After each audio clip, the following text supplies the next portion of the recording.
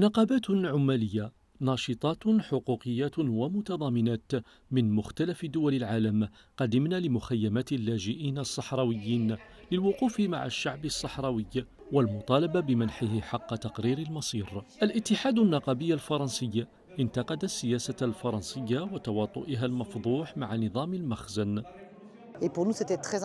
من المهم جدا أن نتواجد هنا اليوم وخلال الأيام الماضية لمساندة القضية الصحراوية بقدر ما نساند القضية الفلسطينية وندافع على حق الشعوب في تقرير مصيرها وضرورة تطبيق القرارات الدولية التي ضربت عرض الحائط لمدة سنوات لا سيما من قبل الدولة الفرنسية بحيث شكك الرئيس ماكرون خلال الصائفة الماضية في مصداقية القانون الدولي من خلال إبرام اتفاقيات مع المغرب خدمة لمصالح هذا البلد في الصحراء الغربية.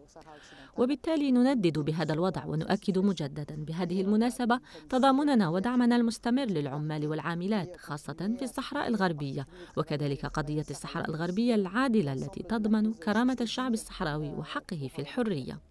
من إسبانيا والأرجنتين رفعت ناشطات حقوقيات صوتهن عاليا للدفاع عن الصحراويين واستنكار الاعتداءات المغربية بالأراضي الصحراوية. جئنا إلى هنا بشعار الكفاح من أجل تحرير الشعوب. كنا دائما واقفين مع قضية الشعب الصحراوي. لقد جئنا لتسديد جزء من الدين الذي هو على عاتق الحكومة الإسبانية. نحن لسنا فخورين بقرارات حكومتنا مع المملكة المغربية ضد الشعب الصحراوي. سنحاول إعطاء صورة معاكسة وسنكافح من أجل استقلال الشعب الصحراوي.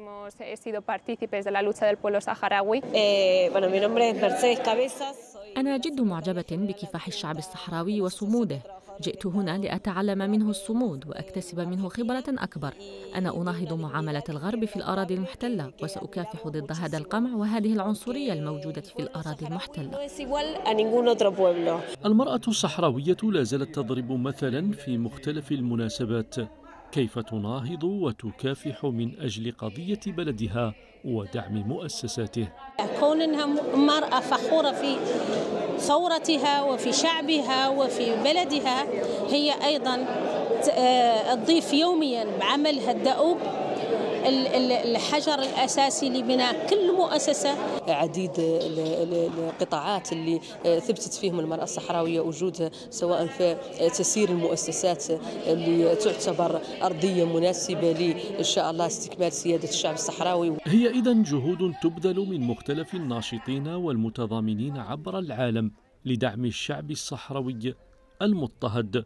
وزيادة الضغط على الهيئات الأممية لإنصاف الصحراويين عن طريق العودة للشرعية الدولية.